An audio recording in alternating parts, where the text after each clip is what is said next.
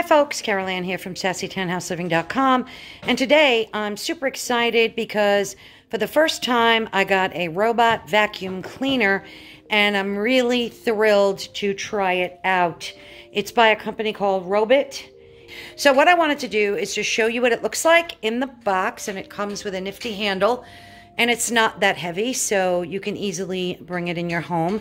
Those things mean a lot to me. I always like to you know, check out what companies do when they ship these types of products.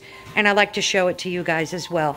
So what I'm going to do today is unbox it and show you how it works. Okay, so this is what it looks like inside the box. It comes really nicely packaged. So you get a nice packet with all the information. And this is the actual machine itself. And I'm gonna just take everything out of the box take the plastic off and lay it down so you can see. I just want to show you what comes inside the box.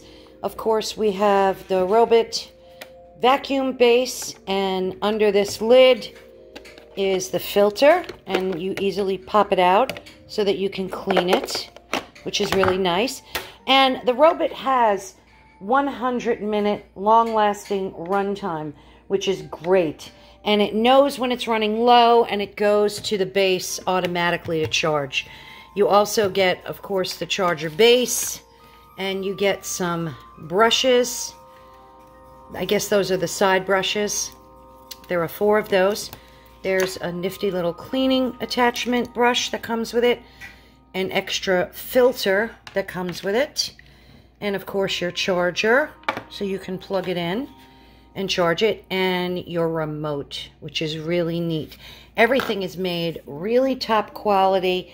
So what I'm going to do right now is charge it and then show you what it's like when it's plugged in. And again, I'll have the specs running across the screen. So let me get this plugged in and then I'll show you what it looks like in action. Okay, so, so what I want to do today is just give you a quick tour of what the Robit looks like and some of the different features.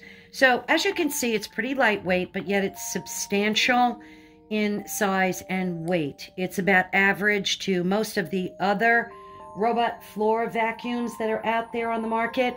And I want to just show you some of the features real quickly. So what this has is a bumper guard around the edges so that when it does come in contact with chairs and other pieces of furniture, it gently gives them a little bump and then guides the robot in a different direction. And underneath the hood, we have a very easy to clean basket and you do get an additional filter as I showed you and all you do is pop this out and put the new one in so it's pretty easy to clean and then to clean it all you do is flip this open and as you can see there's a filter and I was using this downstairs so there's some dirt in there and I wanted to show you that. I just had vacuumed my floor, so they weren't too dirty but I was able to still pick up some additional dirt which really tells me that my vacuum cleaner is not working as good as it should. Okay, so that's really, really easy to pull out and clean. And of course, you don't want to add water to the dust collector. You want to keep this nice and dry. So it's very easy to pop this out and clean it. And let me just flip it over. Oh, but first, this is what lights up. Uh, you can also push this button to activate it, but this is what lights up to let you know that it's charged or that it's charging. So it's green when it's fully charged, yellow when it's in charging mode. So on the flip side, we have some pretty substantial wheels and they work very, very well on my carpets and especially on hardwood floors. Now you don't want to use the Robit on very thick carpet because it will not be able to like dig the wheels into the carpet and turn and do what it needs to do. I think it said anything over three inches in piling is not recommended and most folks don't have that thick a carpet unless you have a shag or something like that. And we have our little dust wheels that pop in and out very easily. So as you can see, if you need to clean them, all you do is pop them off and then pop it right back in. We have our um, another wheel up here that rotates 360 and that helps guide the robot. Over here we have our magnets that when it needs to go home and charge, it will it will go to the charging base and come in contact here and here and it will self-charge. And this, of course, is the charging base. It's very small and lightweight. And all you have to do is plug it into the wall and bam, you're ready to go. So this right here is the suction piece. This sucks up all of the dirt and it has a nice rubber guard around that as well. And again, I will have some of the other specs running across the screen for you to see because it does have a lot of other specs to it and I will make sure that I run those across the screen so you can see it.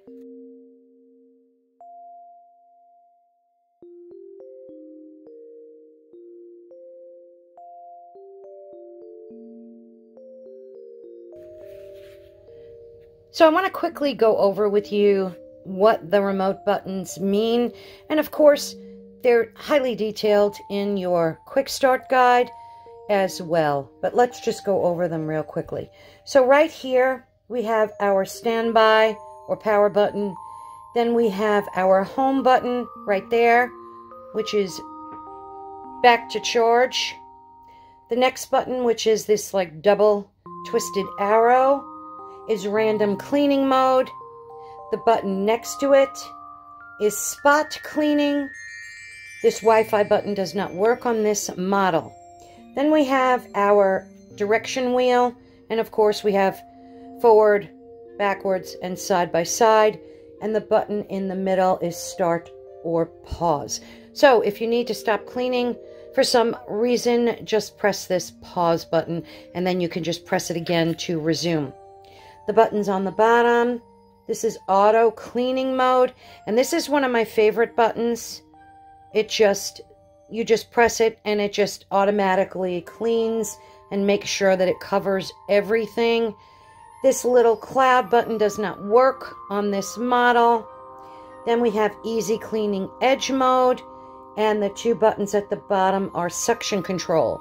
So if you want lower suction, you press that on the left and then for higher suction, you just press the one on the right. So excuse my fingerprints all over it. Um, I've been demoing it, and that's been putting fingerprints all over it, so sorry about that.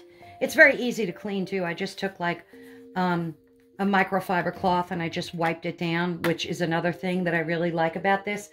And as I was using the remote, it worked great. When I pushed the home button, it knew exactly where to go it took its time to get home depending on how far away you call it. If obviously if it's close to home base, it'll get there really fast. If it's at the other end of the house, it takes a little more time. But one of the other features that I really like about Robit is it goes underneath all the beds and couches very easily. And it got to all the hard to reach areas very effectively. And those areas I'm showing you in a video while I'm speaking are like underneath the couch, underneath my pantry, and underneath my china cabinet like that. And it worked flawlessly and perfectly. Now they say that this is ideal for pet hair or hard, um, like hard floors and carpets. And that's exactly correct.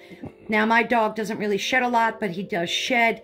And what you saw in the basket was like a lot of his pet hair and a lot of the dirt that my other vacuum missed.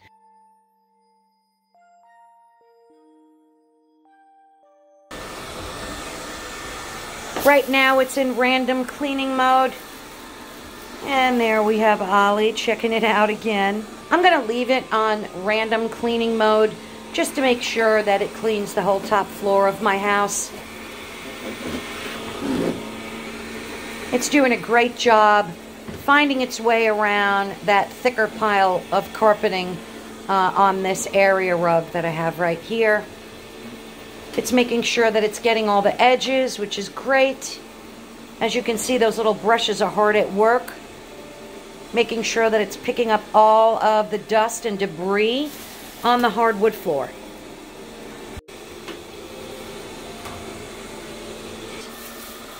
So let's see it negotiate around the stair. Oh, did you see that?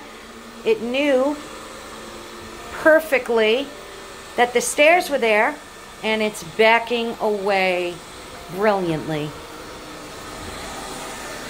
So I want to give you a quick demo of how this works on wood floors. And now I'm going to put it in cleaning mode. Start random cleaning mode. And this is the random cleaning mode. And of course, Oliver has to check it out because he does not know what it is.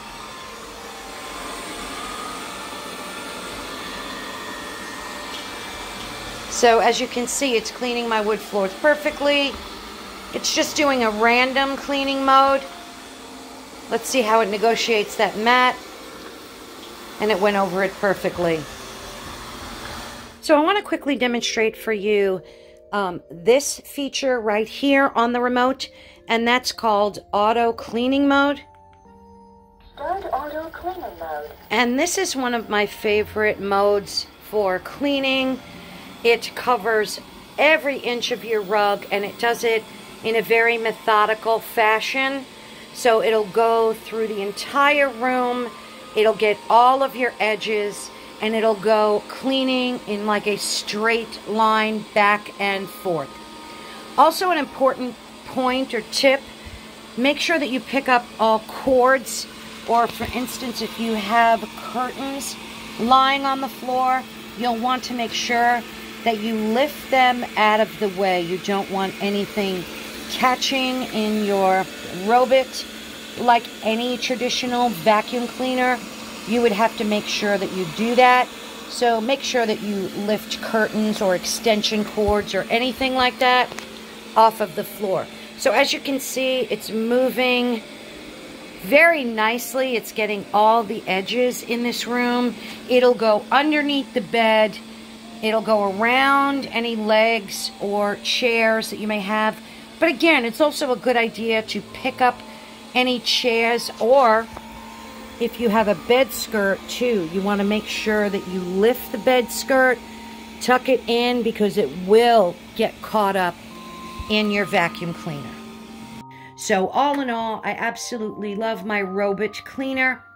I will have all the links and information for you in the description of this video as well as in the article that we're writing on sassytownhouseliving.com. So be sure to check that out. Also, please subscribe, thumbs up this video. I would greatly appreciate it. Thank you so much for watching. If you have any questions, please leave them in the comments below. I'll make sure I answer each and every one of them. Thanks again and have yourself a great and safe day.